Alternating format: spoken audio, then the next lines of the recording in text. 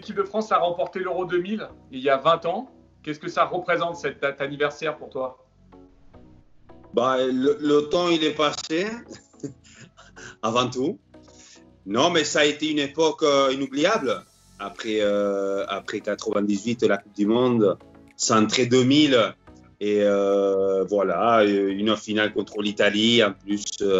mais c'est moi qui marque au titre personnel pendant eh ben, cette finale, ça a été quelque chose de, unique. On a, on a été la, la, première nation à, à, faire un doublé. Après, bon, on se fait dépasser par rapport à l'Espagne. Non, mais euh, voilà, 98, on était, on était fort, mais on était conscient qu'en 2000, il fallait montrer encore ou monter le niveau. Et euh, je pense qu'on avait une équipe euh, avec plein de qualités au niveau physique, au niveau technique, mais surtout au niveau, au niveau mental. Et on a montré qu'on était les plus forts. Et c'est sûr que euh, voilà, ça a été. Euh, on a connu un niveau ben, très élevé. Et il faut dire que le match le plus difficile, ça a été la finale, mais je pense qu'on a montré nos qualités pour. Euh, on a montré qu'on était les plus forts. Avant d'évoquer la finale et ton but, notamment, est-ce que tu te souviens du premier tour? Le Danemark, la République tchèque, les Pays-Bas? Tu as été sur le banc les deux premiers matchs, tu as joué le troisième. Tu as des souvenirs?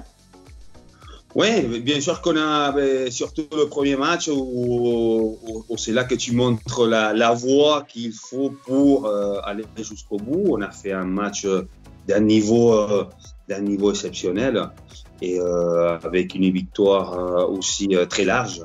Et, c'est sûr qu'après moi, de mon côté, ça a été la, la, possibilité que, m'a donné le coach, c'était pendant le troisième match, même si on était qualifié mhm. contre les Pays-Bas, match pas, pas évident, même si on a été battu 3-2. Et euh, on, a, on a montré qu'on était, qu'on était vivant, que même les, les, joueurs qui étaient moins présents, ils voulaient aussi montrer, euh, montrer ses qualités. Et même si on a, on a perdu, je pense qu'on a fait un, un très bon match et on a montré qu'on était prêt à, la suite. Ce statut de remplaçant, de joker, comment tu l'as vécu? C'est pas facile, hein C'était pas facile, surtout qu'en 98, j'avais participé un peu plus. Bien sûr que 2000, ça n'a pas été évident au titre personnel, mais je pense que la chose qu'il fallait, c'était montrer à chaque fois qu'on avait la possibilité de mettre à difficulté le coach, en sachant que il y avait une équipe, une équipe en place. Mais, euh, mais bon, nous, on a donné beaucoup de disponibilité. Euh, on voulait être prêt à chaque fois et, et apporter euh, quelque chose à chaque fois qu'on avait la possibilité de, rentrer. Tu es rentré sur la demi-finale contre le Portugal? Et tu es dans l'action qui mène le penalty, c'est ça? Tu peux nous, nous raconter un petit peu? Et voilà, match contre, contre le Portugal, match pas évident. Et en face une équipe avec une époque et Figo, Rui mm. Costa, Nuno Gomes, une équipe de, très haut niveau. Et euh, c'est Nuno Gomes qui marque en premier. Et après voilà un match encore un peu dans, l'idée de, de vouloir attaquer à chaque fois, essayer de trouver des solutions et bien sûr qu'encore une fois bon je suis dans l'action une action euh, et euh, voilà, après ça donne un penalty. Et, euh, et Zizou marque. Mais, mais euh, match pas évident. Match pas évident. Match difficile à négocier. En face une équipe de oh, mais très élevée. Et, euh, mais je pense qu'on a monté pendant, pendant tout le match, on était plus fort. Qu'est-ce qui faisait la force de cette équipe de France sur cet euro L'idée d'aller vers euh, l'avant, l'idée de, de euh, gagner chaque match, mais surtout l'idée de attaquer, d'être très discipliné, de, de, de, montrer à chaque fois qu'on était les plus forts, côté technique, côté, euh, côté physique aussi. Et chacun d'entre nous voulait apporter en plus à cette équipe. Je pense que c'est dans la globalité, voilà, c'était la force d'une équipe qui voulait à tout prix remporter euh, la compétition. Jouer contre l'Italie, la finale, c'était particulier pour beaucoup de joueurs. Pour toi aussi. oui, voilà. Moi, de mon côté, euh, j'avais signé euh, et après la demi-finale contre le Portugal mon contrat avec la Juve. Ça veut dire que, oui, entre guillemets, c'était un match un peu. et, ben, pas évident. Pas évident. Surtout Del, Vecchio marque et, et on, est, on, est, tous conscients que l'Italie, déjà, c'est une équipe très difficile à, à manœuvrer, mais en plus, quand eux, ils marquent en premier, c'est sûr que c'est encore plus, euh, plus difficile.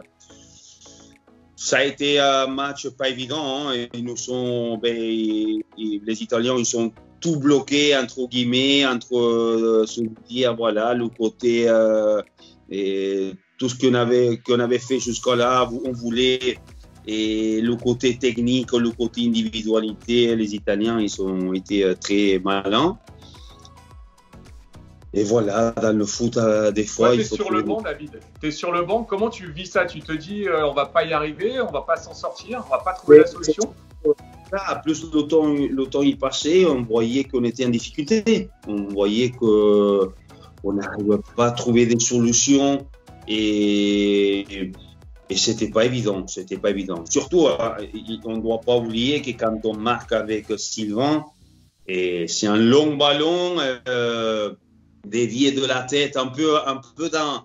On est rentré un peu dans le côté italien aussi, euh, nous de notre côté, non Ça veut dire, il y avait plus de solutions. Et, ben, il nous manquait une, c'était là, voilà, un ballon long de la part de Fabien et Barthez, moi de la tête, et après Nino euh, Wilter qui finit, euh, qui finit l'action. Raconte-nous ce but là, ce fameux but, ce but qui est rentré dans l'histoire contre l'Italie, ce but en or. Ben, on est, à mon avis, après euh, l'égalisation, on a, on a senti que nous, on, montait et au, niveau, au niveau physique, au niveau au niveau technique, au niveau mental, et on a, on a vu que les Italiens, ben, ils avaient beaucoup euh, souffert. Déjà pendant, pendant le match, et surtout après l'égalisation, on a senti que ben, ils avaient senti un coup au niveau, au niveau, surtout au niveau mental très très fort. Et nous, on est resté dans, dans, même en essayant de, de nous remettre un peu au niveau, en place au niveau système, cette idée d'aller vers l'avant, cette idée de, de, continuer à attaquer, cette idée de, de discipliné, mais vers l'avant. Et voilà, Robert, il fait une action en étant aussi, euh, ben, on a vu qu'il était fraîche, qu'il avait envie, il fait une action, ben, surtout en dépassant euh, Cannavaro, parce que quand on voit au niveau, quand on voit Cannavaro, Maldini, Nesta et compagnie, euh, et il faut dire que l'Italie, c'était un bloc euh, euh, très bien en place, non? Très bien placé. Et il fait une action et super, super. Il fait euh, lui tout seul, il dribble un peu partout, il va jusqu'au bout. Et en sachant qu'il était jusqu'au bout sur la ligne, c'était à moi de, de trouver un peu ma, ma place sur un centre difficile à la fois, qu'il était jusqu'au bout et euh, essayer de trouver, euh, de, me trouver euh, dans, une position et bien alignée.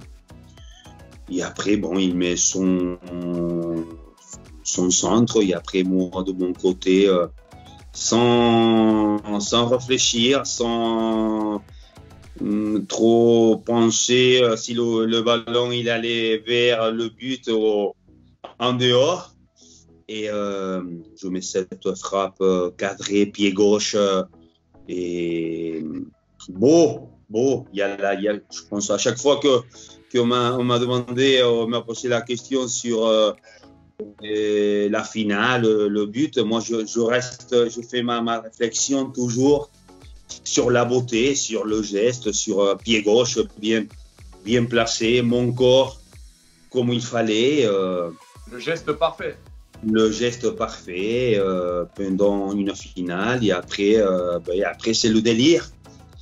Après, euh, voilà, le délire, parce qu'on avait centré l'idée qu'on avait fixée pendant des mois.